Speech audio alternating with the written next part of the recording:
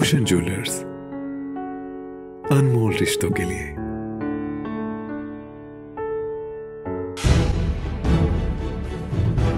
किसी की जान जाती है तो जाए, पर नशा बेचने वाले मोटे मुनाफे के चलते इस धंधे को करने से बाज नहीं आ रहे। पिछले पंद्रह दिन में दो युवा नशे की बेन चढ़ गए हैं। ऐसा ही एक मामला थाना डमटाल के अंतर्गत सामने आया है।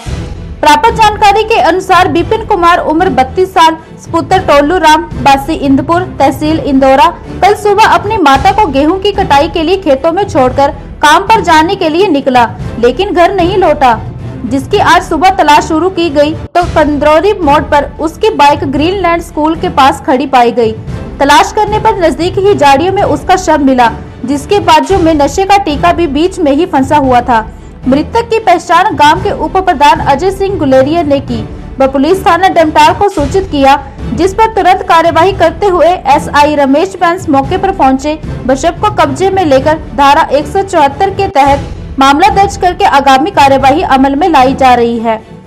जब इस विषय पर ग्राम पंचायत इंदपुर के उप प्रधान अजय सिंह गुलेरिया से बात की तो उन्होंने कहा कि आज प्रदेश का युवा नशे की लत में फंसकर अपना जीवन खाक कर रहा है। उन्होंने कहा कि जब तक सरकार नशा माफिया के खिलाफ कोई सख्त कानून नहीं लाती, तब तक ये नशा माफिया, नशा बेचकर यूँ ही हमारे युवाओं को काल का ग्रास बनाता रहेगा।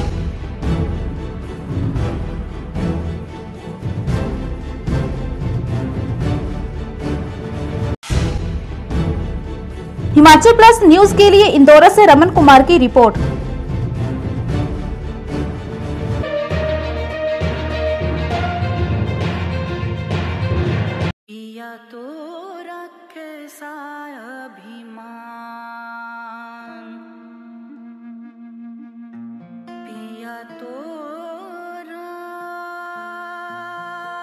बीती यादों से नाता सहेजना सीखा।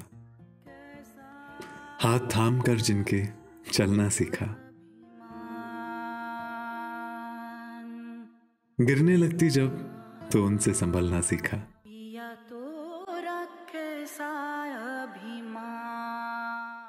उनकी डांट से खुद को तराशना सीखा।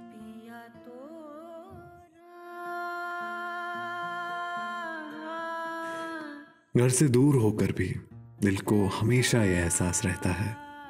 उनका प्यार और फ़िक्र हमेशा मेरे साथ रहता है।